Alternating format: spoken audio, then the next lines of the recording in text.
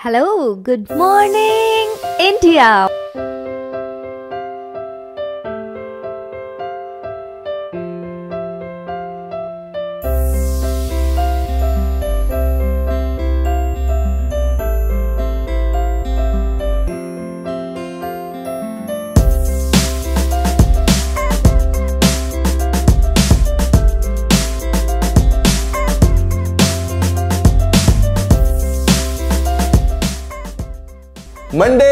Friday.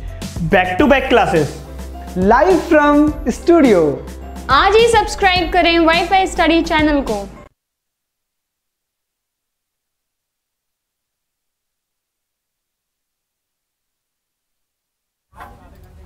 Good evening everyone welcome to wifi study changing the way of learning India's number one online education channel plus a part of Unacademy so let start with today's question आज के जो paper में question आपको आए हुए हैं, उन सब की बात करते हैं।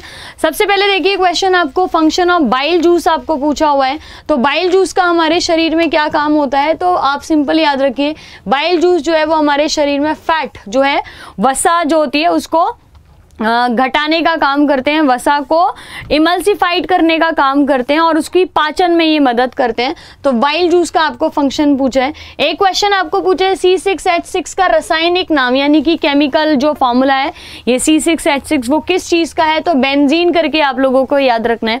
नी कैप को और क्या बोला जाता है? तो पटेला करके याद रखिएगा, ये ज्वाइंट जो है नी कैप करके इसको टर्म करते हैं।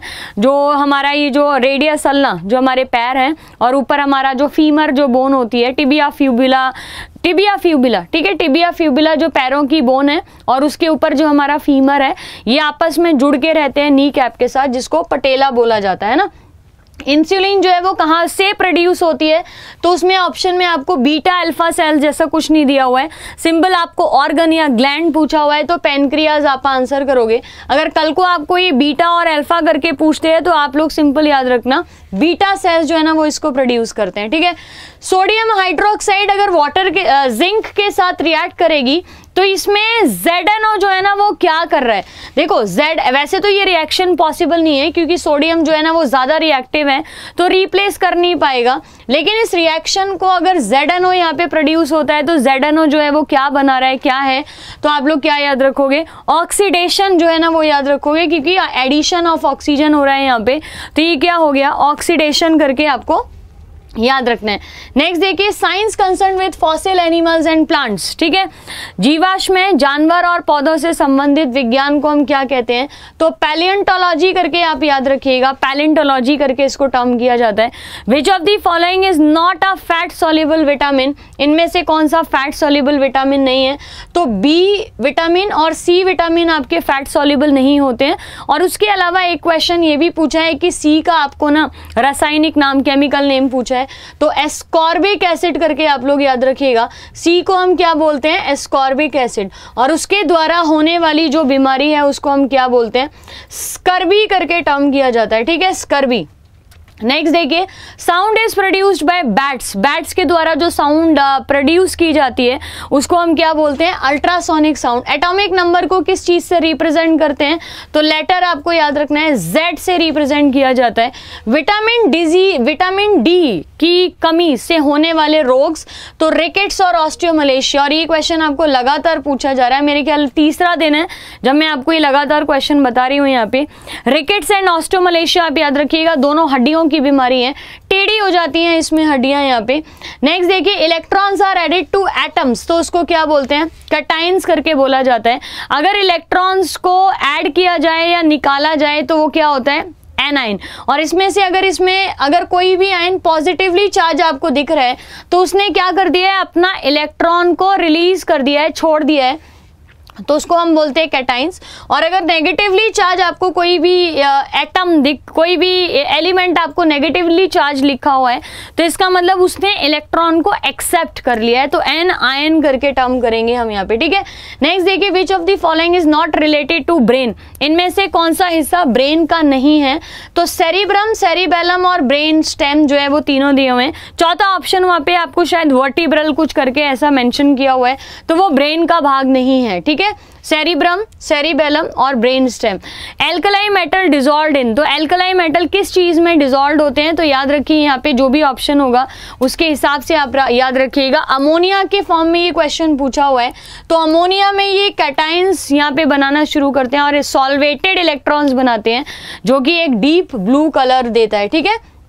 नेक्स्ट देखिए डेंड्राइट जो है वो किस चीज़ का हिस्सा है या किस चीज़ का पार्ट है?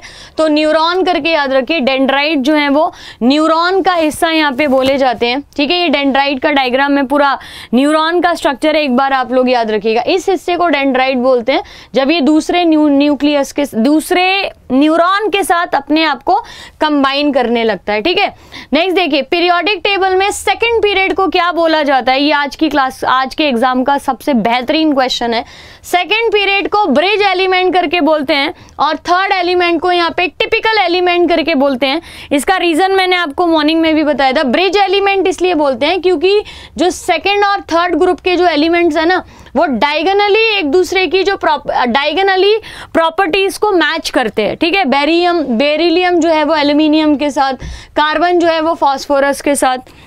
तो जो भी यहाँ पे एलिमेंट्स हैं, वो डायगनली एक दूसरे के इलेक्ट्रोनेगेटिव जो कैरेक्टर है, उससे रिप्रेजेंट करते हैं, ठीक है? टूथ डिके, दांतों में अगर सड़न हो रही है तो किस चीज़ से रोका जा सकता है उस चीज़ को? तो फ्लोराइड करके आप लोग को याद रखना है। कौन सा विटामिन ऐसा है जो हड्डियों के द्वारा एब्जॉर्ब होता है?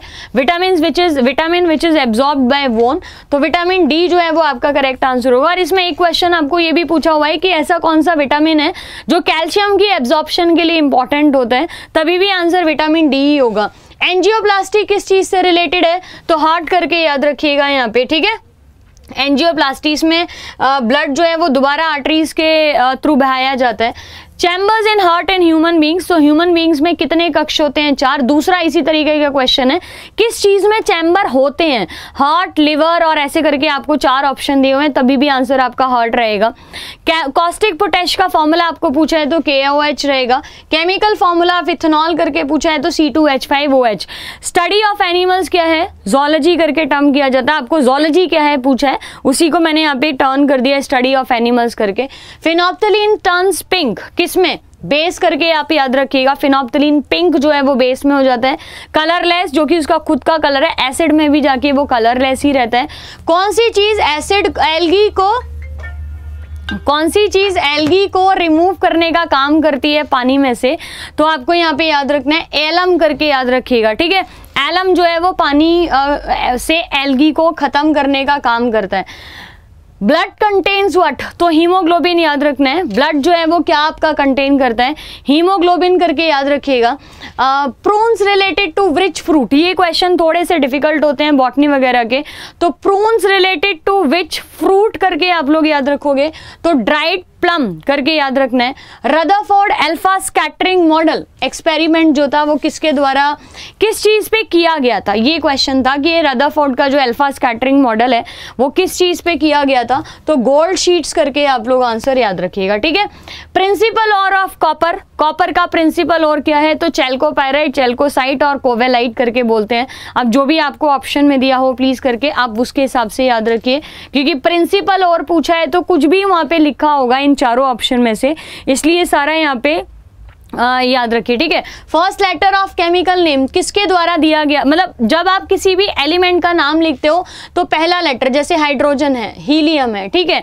तो आपने ये जो लेटर्स लिखे हैं वो किसके बेसिस पे हैं? तो एक बात याद रखिए ये लैटिन वर्ड्स होते हैं सारे के सारे लैटिन वर्ड्स जहाँ पे कैपिटल पहला वर्ड होता है जैसे नाइट्रियम है। नाइट्रियम क्या है? सोडियम के लिए तो उसमें सोडियम नहीं इस्तेमाल किया ना हमने उसका जो लैटिन नाम है नाइट्रियम उसको इस्तेमाल किया। तो ये लैटिन नेम होते हैं जहाँ पे पहला लेटर कैपिटल से लिखा जाता है। आपको एक ऑप्शन लैटिन है तो आपका आंसर लैटिन आना है उसका। कई लोगों ने उसमें कैपिटल लेटर लिख दिया है, वो गलत होगा। How many chromosomes are there in human cells तो तेईस पेयर्स हैं, छियालीस टोटल क्रोमोजोम होते हैं। अब आपको तेईस जोड़े के हिसाब से दिया है ऑप्शन में, या छियालीस लिखा है। वो याद रखना है, ठीक है? Which one of the following can be brought into sheets अब ये क्वेश्चन दिमाग में आते ही सबसे पहले हम क्या करते हैं? गोल्ड के बारे में सोचते हैं, है ना? लेकिन अब ऑप्शन में गोल्ड नहीं है। नाइट्रोजन सल्फ़र और ऑक्सीजन है। तो एक बात तो आपको याद रखनी है नाइट्रोजन सल्फ़र ऑक्सीजन ये तीनों के तीनों नॉन मेटल्स हैं और नॉन मेटल्स को कभी भी शीट्स में कन्वर्ट नहीं किया जा सकता। जो प्रॉपर्टी ये कहलाती है, वो होती है आघात वर्धनीयता या फिर मेलिएबिलिटी जिसको हम बोलते हैं। आयरन क्योंकि मेटल है, इसलिए आप शीट्स में इसको बदल सकते हो। लोहे की चादर बनाई जाती है तो वो बन सकती है। बिगेस्ट सेल इन मैमल्स अब देखो, यहाँ पे अगर मैमल्स के लिए पूछा है तो मैंने आपको न्यूरॉन्स करके ना आंसर लिखा है। लेकिन अगर ये क्वेश्चन ऐसे पूछा है ना बिगेस्ट सेल आपको बताना है ठीक है? तो ऑस्ट्रिच एग जो है वो आपका करेक्ट आंसर होगा। ठीक है? बिगेस्ट सेल पूछा जाए। अब ये मैमल्स इंक्लूडेड है या नहीं है, नहीं पता, क्योंकि कई बच्चों ने इसको खाली बिगेस्ट सेल बोला है। कईयों ने बिगेस्ट सेल इन मैमल्स कर दिया है। तो न्यूरॉन्स तब आएगा जब आपको मैमल्स ऑप्शन होंगे। ऑस्ट्रिच एग तब आएगा जब खाली बिगेस्ट सेल ऑप्शन में होगा। इलेक्ट्रॉनिक कॉन्फ़िगरेशन ऑफ़ कैल्शियम बीस इसका एटॉमिक नंबर होता है। आप इसको लिखोगे यहाँ पे तो दो आठ आठ, ठीक है? दो आठ आठ कितना हो गया? दस, और ये कितना हो गया आपका? अट्ठारह और दो आठ आठ दो, ठीक है? ये होती है इलेक्ट्रॉनिक कॉन्फ़िगरेशन और अगर लिखा जाए तो इसका जो आउटर मोस्ट स्टाइल शेल है एसपीडीएफ में, उसमें फोर एस टू यानी कि एस शेल को यहाँ पे भरा जाता है ना? शेप्स ऑफ़ बैक्टीरिया लगातार तीन दिन से पूछ रहे हैं, इसलिए मैंने यहाँ पे आपका ये इंक्लूड कर दिया, याद रखिए। जो कोकाई होती है, वो गोल शेप की होती है। गोल होती है ये सारी, जैसे आपको यहाँ पे दिखाई दे रही है। बेसिलस जो होती है, वो रॉड शेप की होती है और स्पाइरल जो बैक्टीरिया होते हैं, वो इस तरीके के आपके दिखाई देते हैं। तो ये बिब्रियो कॉलरा जैसी आपको याद रखना है यहाँ पे, ठीक है? नेक्स्ट देखिए, इनमें से कौन सा न्यूट्रल कंडीशन है? तो एच न्यूट्रल कंडीशन में नहीं आता है। एच जो है ना, वो आपका एसिड बोला जाता है। एच जो है, वो आपका न्यूट्रल कंडीशन है, क्योंकि एच प्लस और ओ एच माइनस बराबर होता है। और इसका पीएच जो है ना, वो भी सात रहता है, ठीक है? H plus O H minus ये दोनों ही न्यूट्रल कंडीशन नहीं है, एक प्लस है, एक माइनस आपको यहाँ पे पूछा गया है। Which one of the following does not contain nitrogen ये क्वेश्चन भी अच्छा है।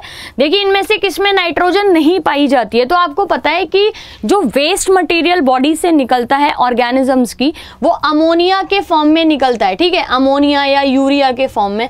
और उसमें नाइट्रोजन की मात्रा पाई जाती है। जबकि सिंपल है। अगर आपको ये भी चीज़ नहीं याद है तो आप सिंपल आपको कुछ नहीं याद होगा तो आपको ग्लूकोज का फॉर्मूला तो याद होगा। ग्लूकोज का फॉर्मूला क्या? C six H twelve O six है ना? तो C six H twelve O six में कहीं पे भी आपको नाइट्रोजन नज़र आ रहा है, नहीं नज़र आ रहा है ना? तो याद रखिए यहाँ पे C six H twelve O six जो है, वो आपका यहाँ पे क्या बना रहा है आपका? ये ग्लूकोज है और नाइट्रोजन की मात्रा इसमें कहीं पे भी अवेलेबल नहीं रहेगा, ठीक है? तो ये सारे क्वेश्चन है। देखो इजी है क्वेश्चन सारे क्वेश्चन तो कोई भी नहीं कर पाएगा हंड्रेड परसेंट तो कोई भी नहीं कर पाएगा। लेकिन अगर आप समवेयर इसमें सिक्सटी थ्री के आसपास बिल्कुल करेक्ट लेके आ रहे हो मतलब मैं आपको बोल रही हूँ, आपका फाइनल मार्क्स जो है ना, वो अगर आपका सिक्सटी थ्री के आसपास है तो आप ये समझ के रखिए, सोच के रखिए कि मे बी आप इन हो, ठीक है? तो पेपर हार्ड नहीं बोलेंगे। देखो, कुछ चीज़ें थी जो आपको थोड़ा सा यहाँ पे ना अपने आप को जज करके चीज़ें आपको देखनी है। मतलब कई जैसे जेड एन ओ वाला क्वेश्चन है, या और भी कुछ, जैसे बॉटनी के क्वेश्चन आ जाते हैं तो वो अपने को थोड़े से डिफ़िकल्ट लगते हैं। अब जैसे ये ग्लूकोज वाला लास्ट वाला बताया क्वेश्चन में कोई प्रॉब्लम नहीं है क्वेश्चन बहुत सही है, लेकिन जब आपको फॉर्मूले ही नहीं याद होंगे तो आप कैसे उसका आंसर करने वाले हो, है ना? बाकी एक दो क्लास जो है सिनेबार किसका और है? अगर पूछा है तो आपका सिनेबार जो है ना, वो मरकरी के ओर के लिए बोला जाता है यहाँ पे, ठीक है? अभी आप चीज़ें रिवाइज करिए। कल और परसों जिनका पेपर है, उन लोगों को बेस्ट ऑफ़ लक अच्छे से चीज़ें यहाँ पे दीजिए। मतलब अच्छे से एग्ज़ाम्स जो है उसको क्लियर करिए आप लोग। पेपर आप लोग पढ़ते हो तो हार्ड नहीं है। नहीं पढ़ते हो तो पेपर हार्ड है। सिंपल थ्योरी है और कुछ भी नहीं है। अब जा रहे हो सेवेंटी परसेंट पेपर आपको आ रहा है तो पेपर आप लोगों के लिए ईजी है। जा रहे हो और समझ ही नहीं आ रहा ये क्वेश्चन कहाँ से हैं तो पेपर हार्ड होगा, है ना? चीज़ें रिवाइज करके जाइए, पीछे से पूरा अच्छे से चीज़ें रिवाइज करके जाइए, है ना? और बाकी जितना भी कवर किया है एटलीस्ट उससे सत्तर परसेंट तो सत्तर, अस्सी परसेंट तो आ ही रहे थर्ड शिफ्ट का इसमें इंक्लूडेड नहीं किया है, बाकी क्योंकि इसके क्वेश्चंस वगैरह जो है वो थोड़ा सा लेट आते हैं। बाकी जो रहेगा उसको हम आगे इंक्लूड कर लेंगे क्वेश्चंस को, ठीक है? तो guys thank you so much to be with me thank you so much आप सेशन लाइक करना है शेयर और सब्सक्राइब नहीं करें तो आगे की इन्फॉर्मेशन के लिए आप चैनल को सब्सक्राइब करिए, ताकि और ज़्यादा से ज़्यादा इन्फॉर्मेशन आपको मिले, ठीक है? Thank you so much bye bye